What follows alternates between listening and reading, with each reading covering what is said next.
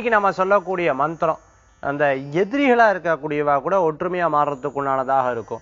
அதே சமயத்தில் பார்த்துட்டேன் அப்படின்னு சொன்னால் நம்மளுக்கு பயம் போயிடும்.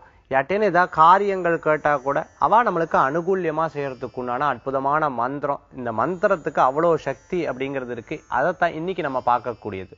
ஷாக்கினி மித்ர ரூபிணி ஓம் ஷாக்கினி மித்ர ரூபிணி இந்த மந்திரத்தை தினமும் கார்த்தால ஐந்து முப்பது மணிக்கு எந்திரிச்சு ஒரு ஆறு ஆறரைக்குள்ள முடிஞ்ச அளவுக்கு நூற்றி எட்டு தடவை சொல்லிக்கிறது. எவ்வளவுக்கு எவ்வளோ எவ்வளவுக்கு எவ்வளோ எவ்வளவுக்கு எவ்வளோ உரு ஏத்துறோமோ அவ்வளவுக்கு அவ்வளோ இந்த மந்திரத்துல பலனுண்டாம் பயங்கள் போகும்.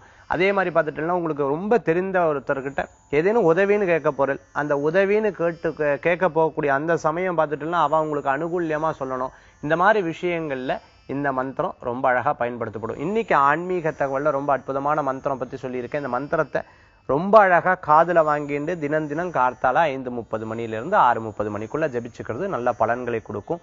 நல்ல முன்னேற்றத்தை கொடுக்கும்.